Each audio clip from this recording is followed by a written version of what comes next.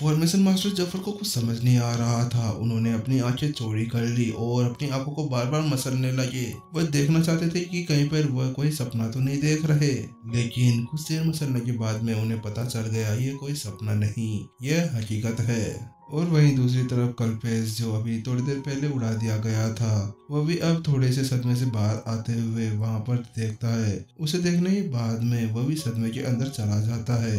ये आदमी आया कहाँ से है? बिना किसी कंपास का यूज़ करे हुए, ये कैसे कर सकता है? आखिरकार कौन सी टेक्निक का यूज़ कर रहा है? मैं तो इतने समय से फॉर्मेशन की जाँच कर रहा हूँ और उनके अंदर अपने पूरे जीवन को झोंक दिया, फिर भी आज तक मुझे इस टेक्निक के बारे में पता नहीं चला। उसके बाद में फॉर्मेशन मास्टर कल्पेश ने जल्दी से सभी स्टूडेंट्स की तरफ़ अपनी नज़रें घुमाई। लेकिन जैसे ही उन्होंने उस तरफ़ देखा तो उन्होंने पाया कि सभी स्टूडेंट्स खड़े थे, जैसे कि उनके लिए तो ये आम बात हो।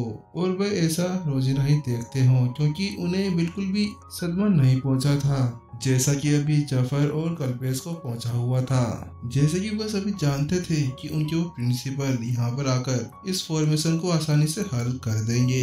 आखिरकार मुझे समझ नहीं आया। इन सबके अंदर इतना ज़्यादा आत्मविश्वास आ कहाँ से गया? क्योंकि वास्तव में उन्होंने इस फॉर्मेशन को ठीक करने के लिए दो दिन अपने यहाँ पर बिताए थे, लेकिन फिर भी वह कुछ भी नहीं कर पाए। और दूसरी ओर इस महान हस्ती को देखो, केवल इसे यहाँ पर आए कुछ ही मिनट हुए होंगे। और बस, बिना कुछ सोचे समझे एक झंडा फेंका और संकट को हल कर दिया।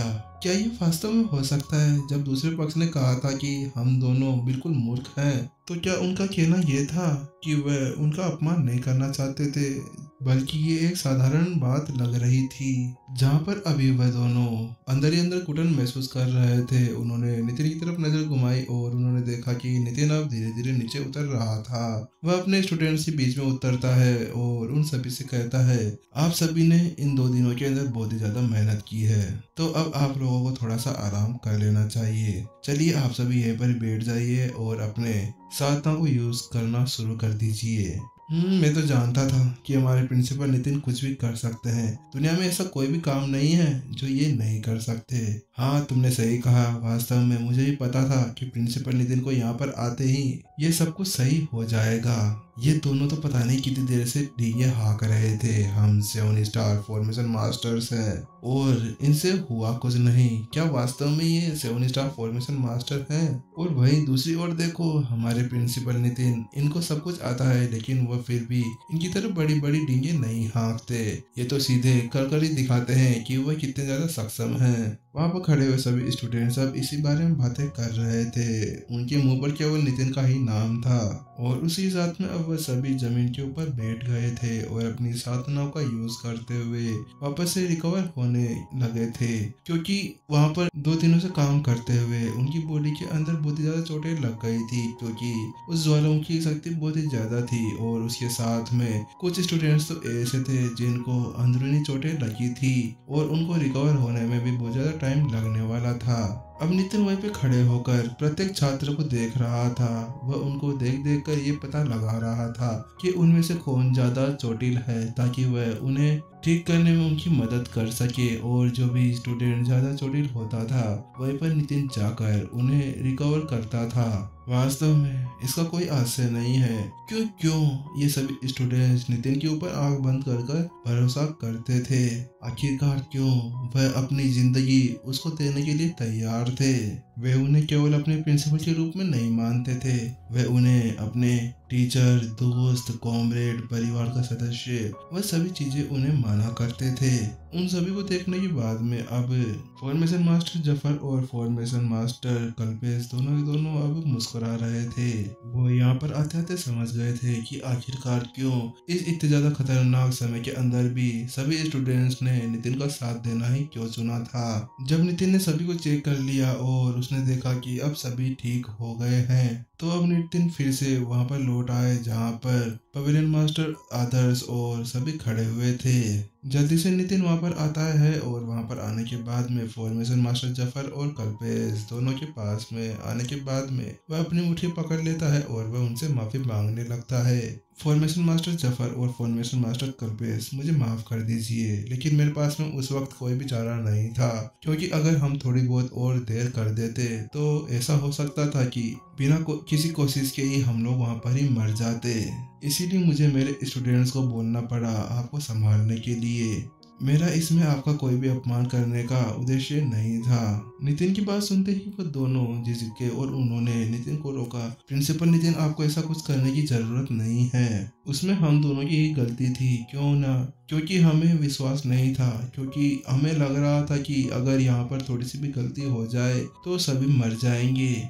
इसीलिए हम लोग आपको रोक रहे थे और इसमें हमारी पूरी गलती थी।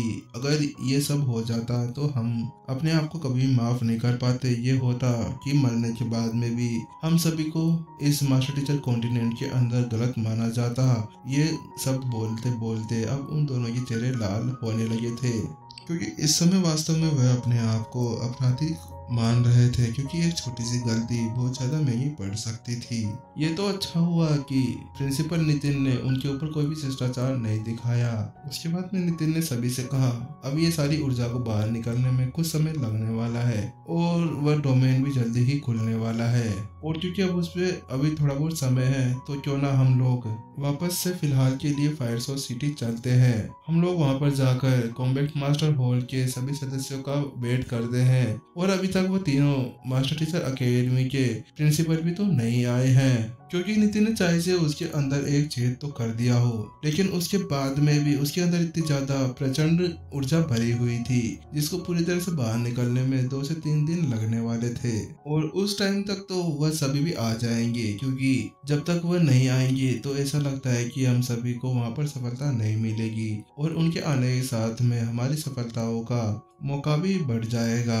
नितिन की बात सुनने के बाद में सभी ने अपना सिर हिला दिया, और अब वह सभी, अब फायर सोसाइटी की तरफ़ बढ़ने लगे और वहाँ पर जाने के बाद में नितिन ने सभी को अब अपने अपने रूम के अंदर भेज दिया और उसके बाद में सभी बीस हज़ार स्टूडेंट्स के पास में जाने के बाद वहाँ पर हेड उत्कर्ष और हेड शंकर दोनों को सभी स्टूडेंट्स को वापस मास्टर टीचर अकेडमी ले जाने के लिए कहा गया। क्योंकि वह जानता था कि उस डोमेन के अंदर बहुत ही ज़्यादा खतरा था और वह किसी भी स्टूडेंट की जान को खतरे के अंदर नहीं डाल सकता था। एक दिन के बाद में अब अन्य तीन मास्टर टीचर अकेडमियों के प्रिंसिपल और कॉम्बैक्ट मास्टर हॉल के सदस्य भी आ गए थे। कॉम्बैक्ट मास्टर वेदांत इस बार यहाँ पर नहीं आए थे, क्योंकि वह आरव के साथ में कॉम्बैक्ट मास्टर हॉल के अंदर गए थे उस सिलेक्शन के लिए। लेकिन इसके अलावा एक संत लेवल स्टेज थ्री के पीक लेवल के लड़ाकू थाउज़ेंड पुलिस कमांडर को भेजा गया था। आप प्रिंसिपल नितिन है ना? नितिन को देखते ही उन 2000 पुरुष कमांडरों में सबके अंदर अब एक दुश्मनी की लहर दौड़ गई। उनके अंदर एक ज्वाला देखी जा सकती थी, क्योंकि उन सभी ने होमगार्ड मास्टर टीचर अकेडमी के सभी स्टूडेंट्स के द्वारा अपने कॉम्बैक्ट मास्टर साथियों को पिटाई करने की वह खबर सुन ली थी। और वह ये भी जानते थे कि उनके सामने जो प्रिंसिपल नितिन खड़े थे, उनकी वर्तमान साधना नवजात संत लेवल के ऊपर थी। लेकिन उनका सच्चा लड़ाई कौशल कॉम्बैक्ट मास्टर से भी अधिक था। हाँ सही बात है, मैं ही नितिन हूँ। क्या आप मेरे से एक मैच करना चाहेंगे? हज़ार पुलिस कमांडर में से एक ने चुनौती दी। क्या एक मैच वह सब सुनते ही नितिन के चेहरे का रंग उड़ गया। वह पूरी तरह से निराश हो गया था। वह मन ही मन में सोच रहा था, आखिरकार ये मेरे साथ में क्या हो रहा है? मैं अपनी ताकत को यहाँ पर नहीं दिखाना चाहता। मैं हमेशा से लो प्रोफ़ाइल रहने की कोशिश करता हूँ, लेकिन हमेशा कोई ना कोई आ जाता है मुझे परेशान करने के लिए। नितिन ने तो अपना माथा ही पीट लिया और उसने जल्दी से हज़ार कमांडर से कहा, मुझे माफ़ करे, लेकिन मैं आपके साथ में भी मैच नहीं कर सकता। क्यों ना ऐसा करे, हम दोनों बैठकर यहाँ पे शराब पीते हैं। उसके बाद में जल्दी से नितिन ने अपनी रिंग के अंदर से एक शराब की बोतल बाहर निकाल ली। क्या आप मेरे से मैच नहीं करना चाहते? तो ठीक है, लेकिन आप चिंता ना करें, मैं आपसे कुछ ना कुछ करके मेरे दोस्तों का बदला तो लूँगा ही। वह कॉम्बैक्ट मास्टर जाने से पहले नितिन को एक धमकी देकर गया था, लेकिन उसने नितिन की शराब को हाथ भी नहीं लगाया। उसको वहाँ से चले जाने के बाद में नितिन ने आसपास में से पता लगा लिया तो उसे पता चला कि वह कॉम्बैक्ट मास्टर पार्थ था। और उसने उस वक्त सुन लिया था कि कैसे होंगे मास्टर टीचर अकेडमी के स्टूडेंट्स ने उसके साथियों की कितनी बुरी तरह से मारा था। इसीलिए उनका बदला लेने के लिए वह यहाँ पर आया था। वह उनके पूरे सम्मान को वापस से लौटा देना चाहता था, जो होंगे मास्टर टीचर अकेडमी द्वारा उनसे ले लिया गया था। उसके बाद में हेड द्रीप नितिन के पास में आते हैं और वह उसे बताने लगते हैं। सीनियर नितिन, हमारे रोसात एम्पायर के मास्टर टीचर पवेलियन में से चार लोगों को हमारे साथ में भेजा गया है। Pavilion master Adarsh formation master Zafar formation master Kalpesh और और एक मैं, और कॉम्बैक्ट मास्टर होल में से combat master Parth combat master Chhatresh combat master Pritam और बारह और हैं। और कुल मिलाकर हमारे साथ में कम से कम तीस लड़ाकू हैं, क्योंकि तीनों मास्टर टीचर अकेडमिया भी अपने मास्टर टीचर अकेडमी से दो दो बुज़ुर्गों को साथ में लेके आई है। इस मिशन के अंदर नितिन ने हेड उत्कर्ष और हेड शंकर को वापस भेज दिया था और उसके अलावा उसने होमगन मास्टर टीचर अकेडमी से दस प्रमुखों में से किसी को भी शामिल नहीं किया था, क्योंकि वह जानता था कि इस प्राचीन डोमेन के अंदर बहुत ही ज़्यादा खतरे भरे हुए थे और वह और वह नहीं चाहता था कि उन दसी प्रमुखों में से किसी को कुछ हो जाए, क्योंकि अगर वह यहाँ पर नहीं होता और उसे इस अंडरग्राउंड प्राचीन डोमेन के अंदर कुछ हो जाता है तो उसके बाद में ओंगन मास्टर टीचर अकेडमी को संभालने के लिए ये दस प्रमुख रहेंगे। अन्यथा, ये होंगन मास्टर टीचर अकेडमी फिर से अराजकता के अंदर चली जाती। हेड दिलीप ने आगे कहा, और मेरे अनुसार ये डोमेन कल खुल जाना चाहिए। अच्छा तो ठीक है तो फिर कल हम लोग सभी वहाँ पर चले जाएँगे। नितिन ने सिर हिला दिया।